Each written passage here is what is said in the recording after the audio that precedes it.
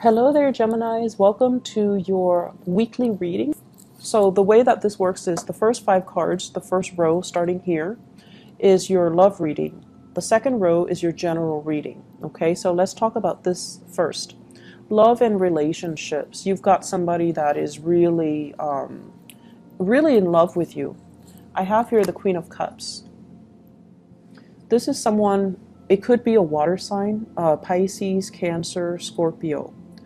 Um, if they're not the sign, sun, moon, or rising, they can be somebody who's actually very attractive, very uh, loving, very selfless, and quite spiritual as well. This is a person that comes to when, you know, um, Geminis, you always have that one person that you go to. Like when you're um, pissed off, when you're upset, when you're frustrated, you always have somebody to vent to. You, you always do. And um, you have that one person that's like the pillar of your emotional support, okay? So I feel like this might be the person. I'm also sensing there is somebody in your life, possibly a relationship partner, that is really, really, really in love with you. And um, I feel like you're on guard. I feel like you're willing to fight for this person just because they're very in love with you. But because they're so in love with you, they can be very possessive. They can overstep their boundaries at times when they're jealous, when they're upset. They can, you know, um, it's like they're so intuitive and so. They suppress a lot of emotion. So when it does come out, they can cut you with words. And I feel like some of you are a little bit wounded based on your interaction with this person. And you're staying in the relationship mainly because, you know, they love you, or mainly because there are children in the picture and you don't want to dissolve that happy home situation. But the cornerstone of this is you're staying with somebody because they really really love you. And you know in your you know the, the, deepest reservoir of your heart you know that they will be there through thick and thin and you know that they will be there for you no matter what. And so you're willing to fight for this even though you feel as if the relationship itself you feel like there's zero compatibility Okay, there might also be situations where emotionally um, you might not feel the partner anymore, but you do want to stay because of the sheer power and and gravity of the magnitude of their love for you. Um, some of you are looking elsewhere. You're just like, do I really want to stay in this anymore? Can I look at greener pastures? Can I go elsewhere? Can I move around? Um, can I relocate? Can I just be with somebody else? And I also feel as if the weight of this relationship feels very, very intense.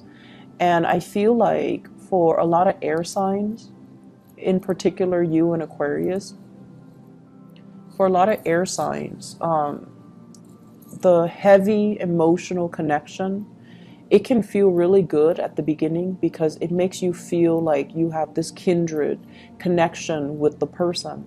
But over time, it's so heavy that it's a little bit draining. Okay, and I feel like you are a little bit drained. Some of you could have been together with this person for nine years.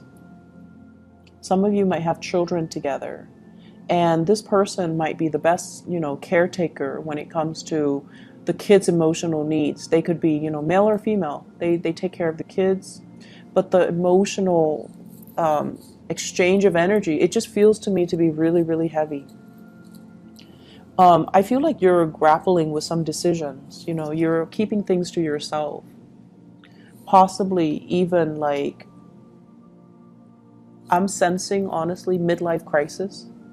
I have this perfectly great relationship partner but the compatibility is not there. I want to look elsewhere. And you're examining this for the first time, it feels. And I feel like there's nothing wrong with this person. I can't leave this person.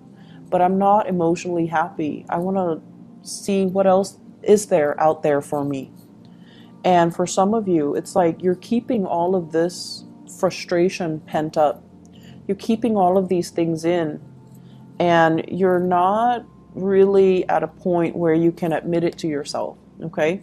Or it's almost like i have to keep this under wraps because once i share that with another person once i tell my sibling or my best friend that I'm not entirely happy. There's nothing wrong with this person. I'm just not entirely happy. I'm not 100% content. Like once you tell your best friend that, or your um, siblings, or whoever it is, your therapist, once you tell them that, then you kind of have to admit it to yourself. And then you're forced to make some changes, right? And I feel like you're still not ready. Um, I'm sensing as well for those of you who are single there might have been this person in your past.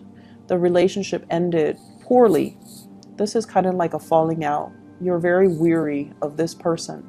And likewise, the energy can flow both ways. For whatever reason, they, um, you might have hurt them. They're very weary of the connection. And I feel like you're looking back on this and thinking I should not have done that, or the other person should not have done that to me. So there's still that sour taste in your mouth, okay? And uh, with this High Priestess, this is a card about self awareness, admitting things to ourselves, revealing to other people how we feel. And so I feel for some of you, you're caught between two people the person from the past, or, you know, they're with you right now, and a new person the high priestess, male or female, this is somebody that keeps their feelings very, very close to their chest. With this energy, I'm getting like a very strong Virgoan energy, a very strong Gemini energy, very strong Aquarius, and also Taurus energy with this high priestess. Those are the the the signs that kind of keep things a little bit bottled in, okay? And um, they're it, it's like you're holding back your feelings. They're holding back their feelings as well. Um, trying to make you know a, a, a new a move towards them, or they're trying to make a move towards you. But it seems as if you're so preoccupied with everything else, you're not really seeing this connection. Okay, so there is somebody here. There is somebody here that is um, waiting for their opportunity. Okay, and let me just see who can we expect. They're waiting for you to move on before they can make an offer. Okay, they're waiting for you to move on before they can make an offer. And I also feel many of you are waiting to move on before you can approach this person with a new offer. So I feel like a lot of internal conflict that's playing out for you guys. And emotionally, you know, you're not like emotionally rattled. I feel like you know what you want and you want to work at things. You don't want to be seen as, you know, the, the stereotypical flaky Gemini. You want to work at things and you want to value the right people. If someone loves you wholeheartedly, you want to be there for them. You want to nurture that relationship but it just feels to me like you're ready to move on and you're trying to you can't make this offer until this move happens. And this just came to me you're interested in somebody, but for whatever reason, you can't make this offer until the move happens for them. So they could be the one stuck in the relationship and you're waiting around for them. And you can't really give them anything, anything solid, ask them to go on a date um, until they're free from their situation. So somebody's not free. Um, the new person that you're dealing with, okay, this is somebody who's very psychic, very intuitive. They're very cold and distant. But the nature of the high priestess is that she or he works from a higher vibration. They might see you embroiled in this and they don't want to have anything to do with it.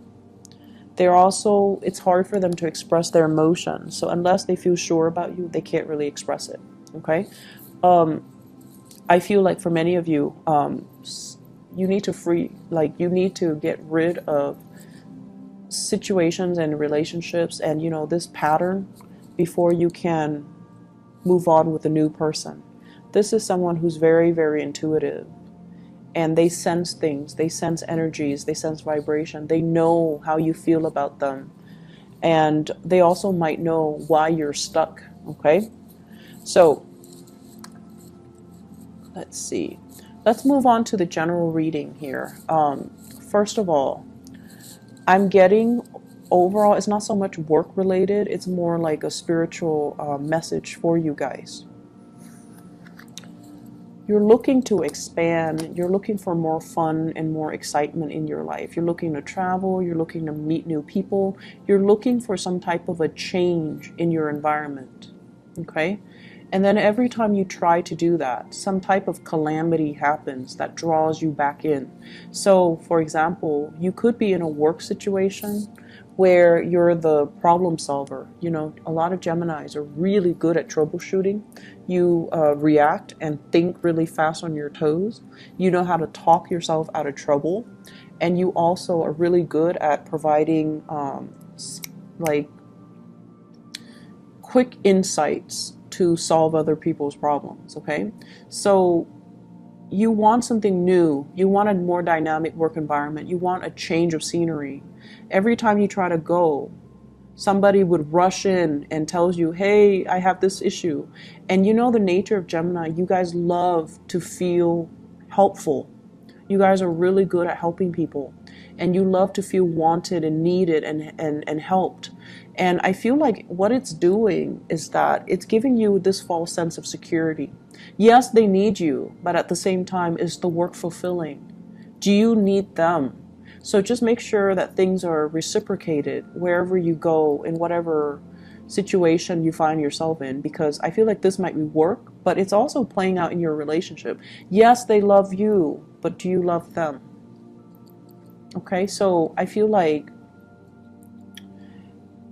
it's time for you to kind of like not take on other people's problems or energies as your own and it's time for you to differentiate between what you want versus what other people want.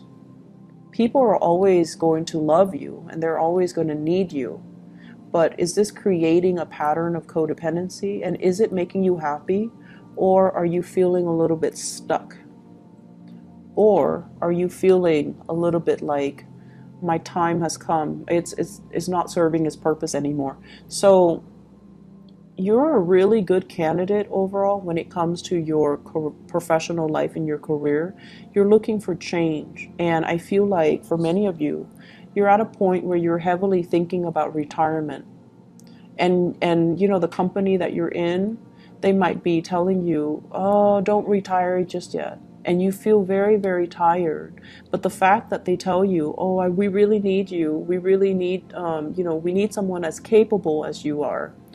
and that kind of pulls you back and that kind of forces you not really forces you but you decide to put your retirement plans on the back burner because you feel wanted and needed in this situation so really think about you know why are you holding yourself back okay? Why are things not moving along? Is it because you're always spending a lot of time catering to other people can you make decisions that are a little bit more less like from the emotional neediness type of a standpoint where other people constantly need you?